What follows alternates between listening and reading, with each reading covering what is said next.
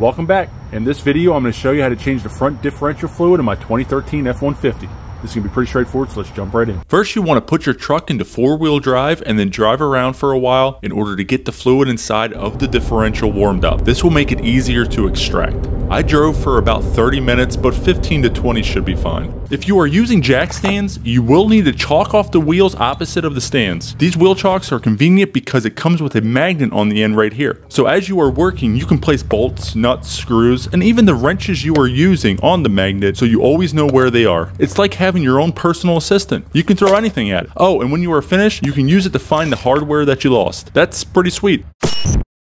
Looking from the passenger side, this is your fill plug. All you need is a 3 8 ratchet and a 3 inch extension. The extension is pretty much necessary in this situation to access the plug. These front differentials do not have a drain plug, so we will have to use suction to remove the old fluid from here before we can refill it. Once it's loose, go ahead and remove the plug. If you see any old thread sealant or other debris, go ahead and remove it so it doesn't fall into your diff. Now in order to get the old fluid out, you will need some kind of siphon or syringe, and you also need one with a very small tube in diameter. Even though the opening for the fill plug seems big enough for some siphons, as you can see some just won't fit. So I found one online that works perfect and we'll link it down below. The goal is to siphon as much fluid out as possible. There's roughly two quarts in the front diff, so if you want to grab a clear drain pan like this, you will be able to see exactly how much you remove. That's pretty convenient and makes it a lot easier to know how much is left. The goal is to stick the tube as far into the diff as possible and then start siphoning fluid out.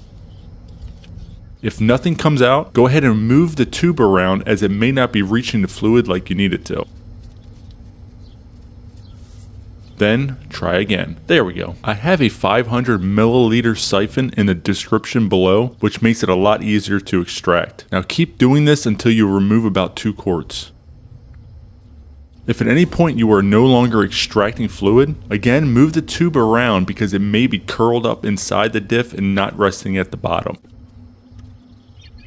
If nothing else is coming out and you remove close to 2 quarts, then you can remove the tube and get ready to fill the diff.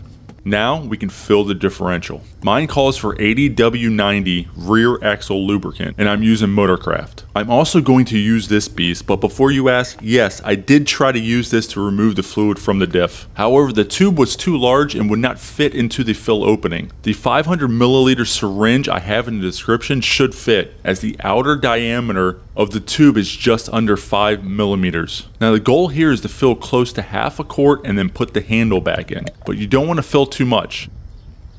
You see how close the fluid is to the end of the tube here? What do you think is going to happen when I push that airtight handle back in? It's going to overflow, right? So I'm going to put some back into the container in hopes I don't waste any fluid.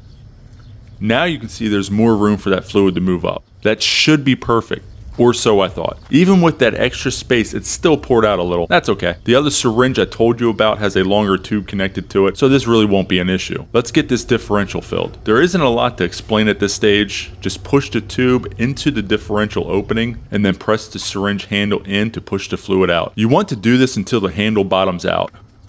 Some fluid may come out, but that's okay. Just make sure your drain pan is under the diff to catch it. Like I said earlier, you will be using almost two quarts, so it won't matter if a little bit of fluid drains out before it's full. You want to keep refilling the syringe and then the diff until you see a lot of fluid escaping, just like that. Now we can grab our fill plug and clean it up a bit. You can use a wire brush like this to remove the old thread sealant from the threads like I'm doing right here. Okay, so you want to apply some kind of thread sealant to the thread of your fill plug. I personally like the sealant from Permatex. Go ahead and remove the cap and then wipe the brush along the side because you don't need very much of it. You are just trying to very lightly coat the threads. When you start applying the sealant to the threads, don't overthink it. Just act like you are painting something, just like this.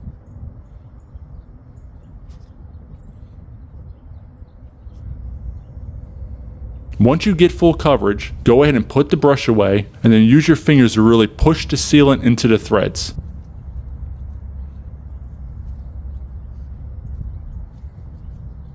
Clean up the diff a little and then begin threading the plug into the fill port. Once it bottoms out, wipe the diff one more time and then we can torque the plug down.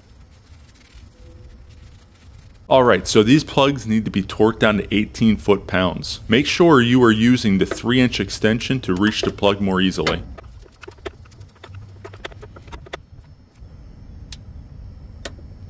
Perfect, you are finished. That's all there is to it. If you found any part of this video helpful or entertaining, please give it a thumbs up. Also, if you haven't subscribed yet, hit that button as well as the notification bell so you don't miss a video from our channel. Thanks for watching and we'll see you on the next one.